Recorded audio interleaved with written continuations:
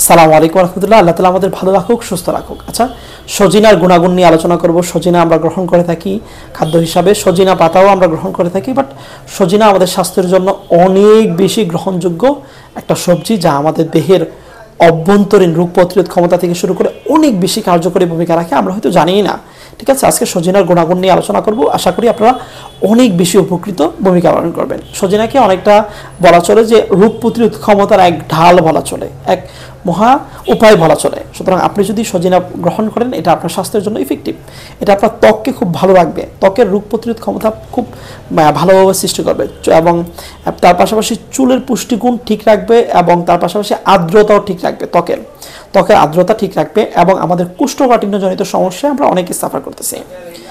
এই কোষ্ঠকাঠিন্যজনিত সমস্যাটা আমাদেরকে ব্যাপক পরিমাণ সাফার করাচ্ছে এবং খুব বেশি পরিমাণ সাফার করাচ্ছে। যে প্রবলেমটা আমাকে প্রতিনিয়তই প্রবলেমের দিকে দাবিত করতেছে। সুতরাং কোষ্ঠকাঠিন্য সমস্যা সমাধানের জন্য কিন্তু সজিনার অনেক বেশি গ্রহণযোগ্য ভূমিকা পালন- পালন করে। কারণ এটা যেহেতু একটা আঁশযুক্ত খাবার, আপনি যখন এটা গ্রহণ করবেন, এটা আপনার পাকস্থলিতে জমে থাকা অতিরিক্ত বর্জ্য পদার্থকে আপনার পাকস্থলী থেকে বের করে দিতে অনেক বেশি সহযোগী ভূমিকা পালন করবে। তার পাশাপাশি অ্যান্টিফাঙ্গাল এবং অ্যান্টিব্যাকটেরিয়াল হিসাবেও কিন্তু এটা দেহের জন্য গুরুত্বপূর্ণ ভূমিকা পালন করে, যা আপনার পাকস্থলীর জন্য অনেকটা সহায়ক এবং অনেক বেশি গ্রহণযোগ্য ভূমিকা পালন করবে এবং আপনাকে অনেক বেশি সুস্থ রাখবে এবং আর্থ্রাইটিসের সমস্যায় যারা ভুগতেছেন হাড়ের দুর্বলতা, কোমরের দুর্বলতা, পিঠে মেরুদণ্ডে ব্যথা অনুভব হয় এবং যে ব্যথাটা অনেক সময় ব্যাপক পরিমাণ অনুধাবন হয় এবং যা আপনার দেহের অভ্যন্তরীণ অনেক মেজর ডিজিজ থেকেও কিন্তু আপনাকে সহায়তা রাখে।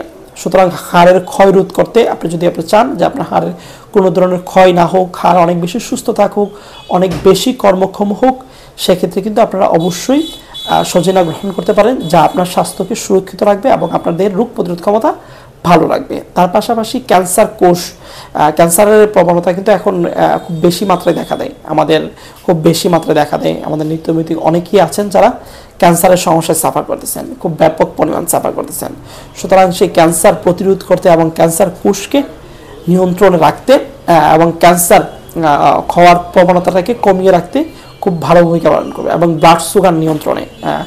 যারা ডায়াবেটিসের পেশেন্ট আছেন ওনাদের কিন্তু ব্লাড সুগার খুব অতিমাত্রায় থাকে। আপনারা যদি সজিনা নিয়মিত গ্রহণ করেন এটা আপনার ব্লাড সুগারটা নিয়ন্ত্রণে রাখবে এবং আপনাকে অনেক বেশি ভালো লাগবে।